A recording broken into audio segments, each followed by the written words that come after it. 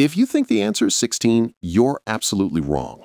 Yeah, I know. It looks super straightforward. The problem is 3 minus 7, open parenthesis, 3 minus 7, close parenthesis.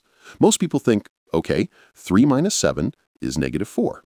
And inside the parenthesis, 3 minus 7 is also negative 4.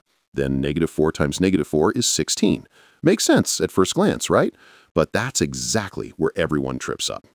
And hey, my friend, only 0.5% of viewers actually subscribe, and I'm really struggling to reach my first 1,000 subscribers.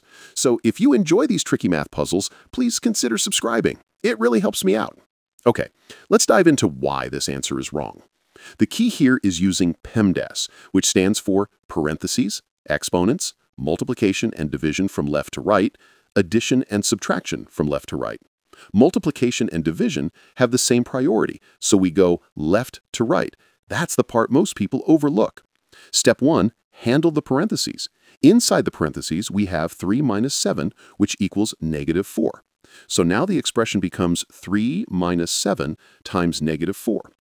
Next, multiplication comes before subtraction when following left to right rules for PEMDAS. So we do 7 times negative 4, which is negative 28. Now the expression is 3 minus negative 28.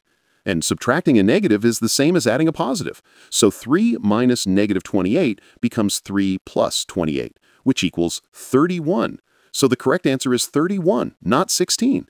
Yeah, I know, totally different than what most people expect, but that's why following order of operations carefully is so important. If you don't believe it, try it exactly like this on your calculator, you'll see it gives 31. And if you still have doubts or think your logic makes sense, write it down in the comments. I'd love to read your thoughts.